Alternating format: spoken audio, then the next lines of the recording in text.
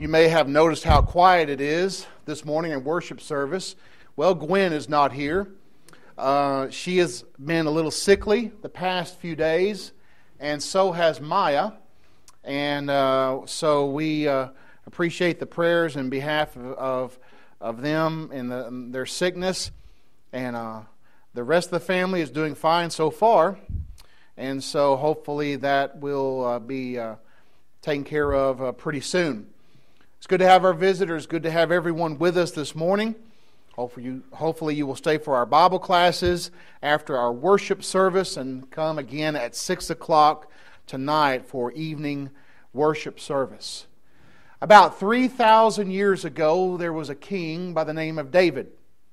He ruled over the nation of Israel as the second king of that nation, appointed by God. The nation of Israel was planted by God. The kings were given to them at the request of the people. The first king was Saul, who was a good king at first, then unfortunately he went bad. David was chosen to replace King Saul to be king over Israel. And in 2 Samuel chapter 7, and we looked at this last week, God spoke through Nathan to David the prophet and gave him a promise. A promise that was going to be made with him and his family that will go into the New Testament period, as we will see a little bit later on. The reason why God spoke to Nathan is because David, as we saw last week, wanted to do something for the Lord. He wanted to build a temple for the Lord. He said in his heart, It's not fair that I dwell in a, a house of cedar and the uh, ark of the Lord dwell in a tent. So he wanted to build a temple. Nathan said, Go do what's in your heart. However, that was not God's will. we learned some lessons from that last week. And one of which is just because someone wants to do something religiously in their heart, that does not mean that's God's will. And therefore, God spoke through Nathan to David and says, Here's what's going to happen, and here is the promises that I will make to you and to your family. Notice there in verse 8, 2 Samuel 7, verse 8 through 16. Now, therefore, thus uh, shall you say to my servant David, Thus says the Lord of hosts. Here's the will of God to David. I took you from the sheepfold, from following the sheep to be ruler over my people over Israel. God chose David to be the king over Israel. Verse 9 I have been with you wherever you have gone, have cut off all your enemies from before you, and have made you a great name, like the name of the great men who are on the earth. God blessed David and exalted David. David did not seek to be exalted, but God blessed him because he was a humble servant of God. Verse 10 Moreover, I will appoint a place for my people Israel. I will plant them, and they may dwell in a place of their own and move no more, nor shall the sons of wickedness oppress them any more as previously. Verse 11. Since the time I commanded the judges to be over my people Israel, that would be the book of Judges, and have caused you to rest from all your enemies, also the Lord tells you that he will make you a house now, the word house here is being used in two different senses as we see it in the context here. Remember, David wanted to make God a house, a temple. But God said, I didn't ask for that. I didn't ask for you to build a house. You're not authorized to do that. He says, But I tell you, verse 11, that I will make you a house. The word house here is being used to refer to a family, a household, a ruling dynasty.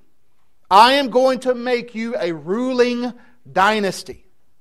And therefore, from David on forward, all the kings of Judah would be a descendant of King David, starting with Solomon and going forward. Now, not all of them were good, not all of them were the people they should have been, and the ones that were wicked will be punished, and the ones that were righteous would be rewarded. But they were all going to be a descendant of David. David would be their ancestor. I will make you a house, a ruling dynasty, a ruling family. Verse 12. When your days are fulfilled and you rest with your fathers, it's talking about when he dies, I will set up your seed after you your descendants, who will come from your body, and I will establish his kingdom. The certainty of a future kingdom with the descendants of King David. Verse 13 He shall build a house or a temple for my name. Now, here's the second sense in which the word house is being used. In verse 11, the word house is being used to refer to a family, a ruling family, a dynasty. In verse 13, it's referring to a house in the sense of a temple, a physical structure. He shall build a house for my name, and I will establish the throne of his kingdom forever. He is going to have authority to rule. Verse 14 I will be his father, he shall be my son. If he commits iniquity, I will chasten him with the rod of men and with the blows of the sons of men. But my mercy shall not depart from him as I took it from Saul, who I removed from before you. And your house and your kingdom shall be established before forever before you. Your throne shall be established forever. Now there are many great lessons and promises that we're going to look at both this morning and tonight. I want to look at a few of them this morning, and then tonight we'll look at the rest of these promises that are made to King David. I want you to notice this, verse 15. But my mercy shall not depart from him as I took it from uh, Saul, whom I removed from before you. If he commits sin in verse 14, uh, commits iniquity, he will be chastened with rods of men. However, I'm not going to remove my mercy from him like I did Saul. 2 Samuel 7 and verse 15 is a very important verse when you're talking about whether or not a person can lose their salvation. King Saul, the very first king of Israel, lost the mercy of God because he turned his back on God. He became wicked and God removed his mercy from him. And God is saying, I'm not going to remove the mercy of, of the person who is going to be your descendant. And notice, it is because he's going to build a house for my name, verse 13, and I'm going to have a father son relationship with him. There's going to be that relationship there. And because of that, the mercy will not depart from this individual as the mercy was taken from King Saul. You see, if we depart from God's way, as King Saul did, if we go to the dark side, as Saul did and chose to do, we will have God's mercy removed from us. We have to live in harmony with His will. 1 John chapter 1 in the New Testament tells us we must walk in the light as He is in the light. When we do that, the blood of Christ cleanses the Christian. When they're confessing their sins, God is faithful to forgive us of our sins and cleanse us from all unrighteousness. Within the context there, 1 John chapter 1. The point is, we have to keep his commandments. We have to do his will. Saul did it first, but then he departed from that, and the mercy of God was taken from him. Now, let's look at this as we consider what's going on here. As, as I said earlier, the word house in verse 11 is used differently than the word house in verse 13. The word, the word house there in verse 11 of 2 Samuel 7 is used to describe a ruling dynasty. Keep your place here and turn to Matthew chapter 1. We look throughout biblical history and we see God fulfilled this promise. David lived approximately about a thousand years before Jesus was born. And during that period of time, there were kings that came from the uh, body of David as his descendants.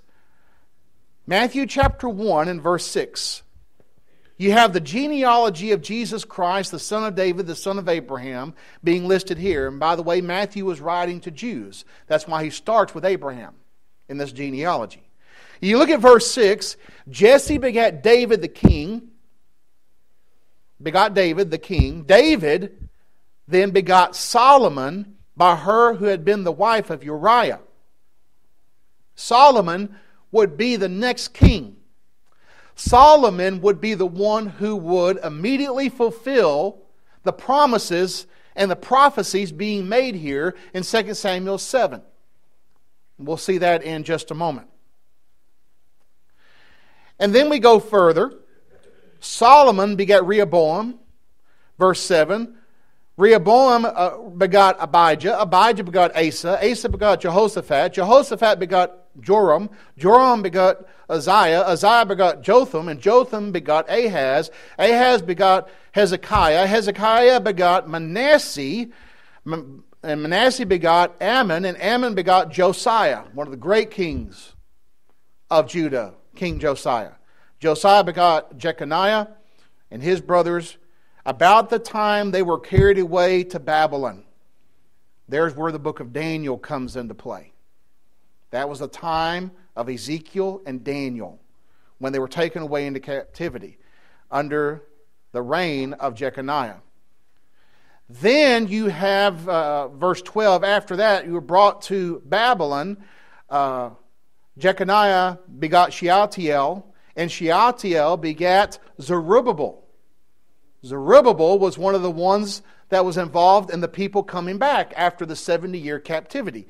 Then you have the lineage going all the way down to verse 16 and Jacob begot Joseph, the husband of Mary, of whom is born Jesus, who is called Christ. There's that royal dynasty traced all the way from David, all the way through during the time of the southern kingdom, all the way even through the time of the 70 year captivity and when the people returned to the land. All that period of time, there was that seed line being traced, and it comes all the way up to Joseph, who was the legal earthly father of Jesus according to the flesh. Interesting thing about the genealogy found in Luke's account Luke traces the genealogy of Jesus through his mother, Mary. And they both have a common ancestor in King David.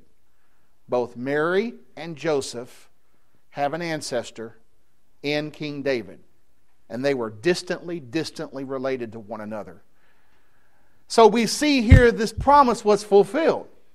We look at these passages here in 2 Samuel 7 and we say, what does this have to do with me?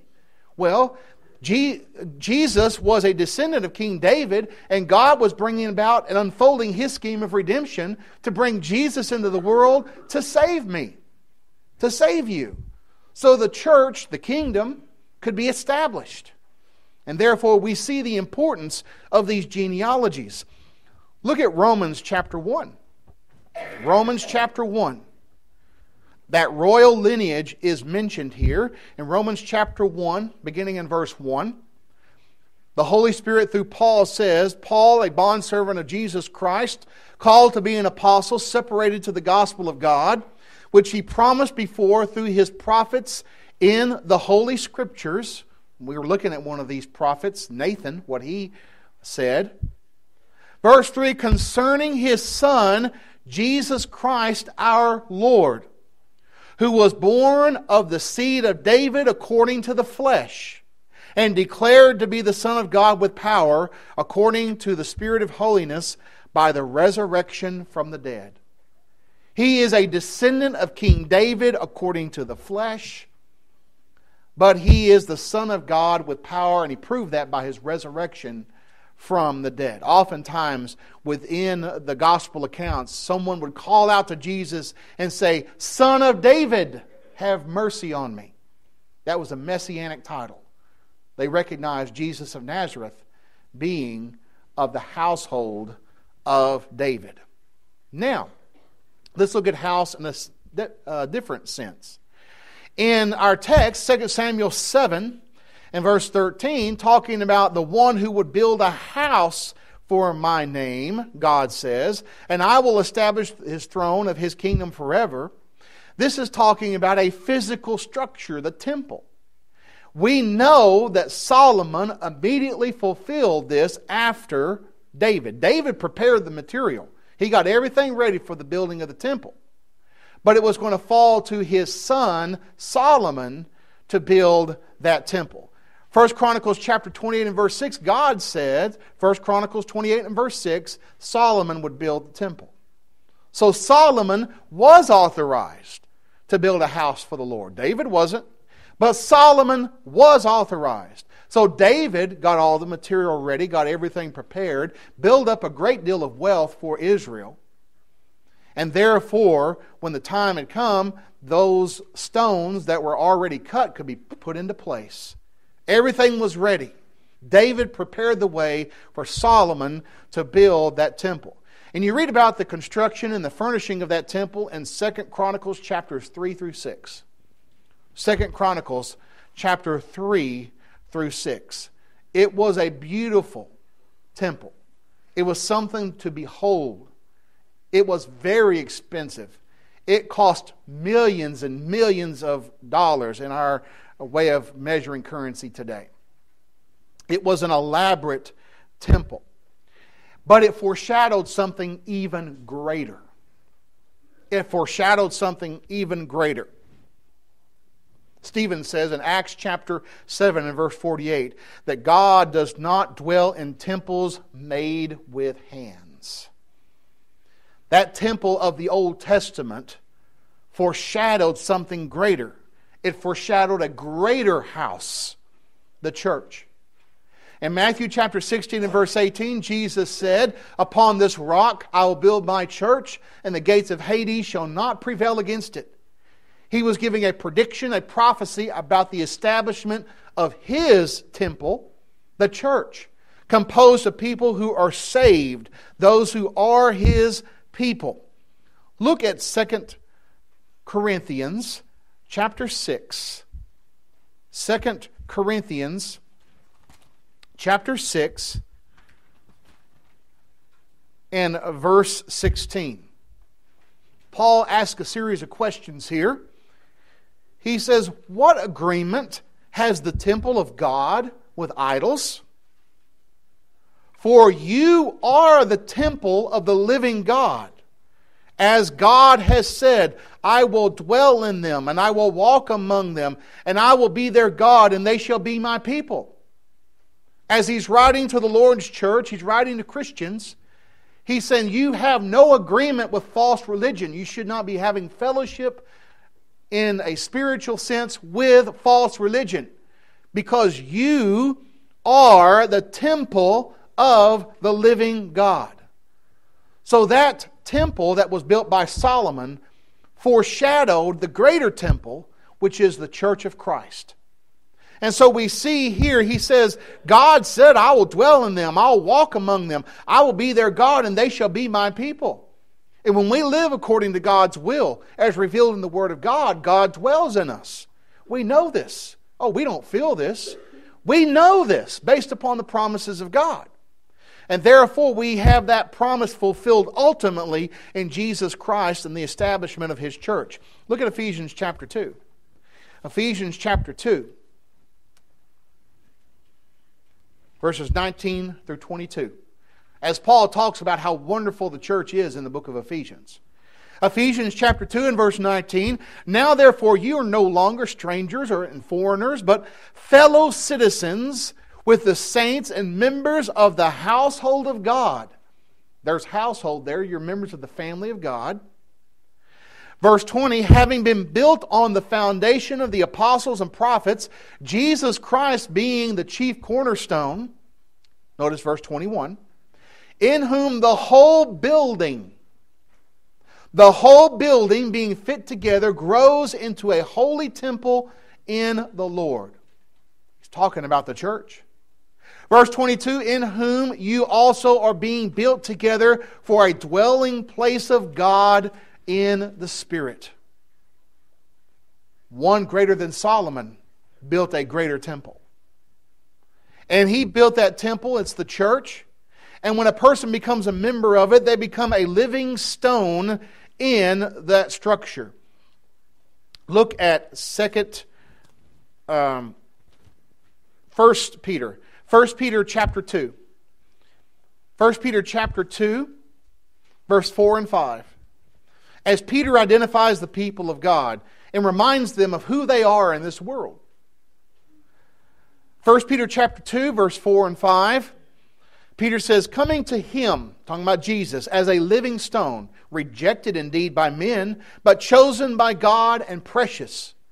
You also, he's talking to Christians, as living stones, are being built up a spiritual house, a holy priesthood, to offer up spiritual sacrifices acceptable to God through Jesus Christ. So the church of Christ is the temple of God today. And therefore, the promise to build that house was ultimately fulfilled in Jesus Christ. He purchased the church with his own blood, Acts 20 and verse 28.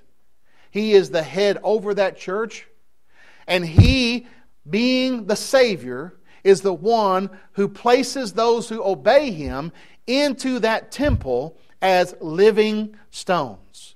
So, what we've seen this morning is, according to the promises made to David, about a thousand years before they were fulfilled, he promised David that you will have a ruling dynasty. You will have a house. I will establish your house, your family, your ruling dynasty. And God fulfilled that promise and brings us all the way up to Jesus Christ, our Savior. He also said, You're this son of mine, which will come from your body, I will be a father to him, and he shall be a son to me. Well, that's the perfect relationship we see in Jesus. Jesus is the Son of God, God is his Father. Also, Jesus would be the one to build that greater temple, that greater house. Oh, Solomon did build the house under God's instruction, but it was meant to foreshadow the greater house, the temple not made with hands, which is the Lord's church today. Oh, there's other things we're going to talk about tonight, Lord willing, when we talk more about the kingdom and the throne that Jesus is ruling and reigning on now. The question this morning is this Are you in the kingdom? Have you obeyed the gospel? Have you been added to the church? Believe in Jesus, confess Him as the Son of God, repent of all your sins, and we have water available. We can baptize you, immerse you into Christ for the forgiveness of your sins, and you'll be added to the church. Not a denomination, but the temple of God. If you've done that and you've gone astray, you're not holy as you ought to be. The, the temple is to be holy, to be separate, distinct from the world. If you've not been, we urge you to repent. As always, the choice is yours while we stand and while we sing.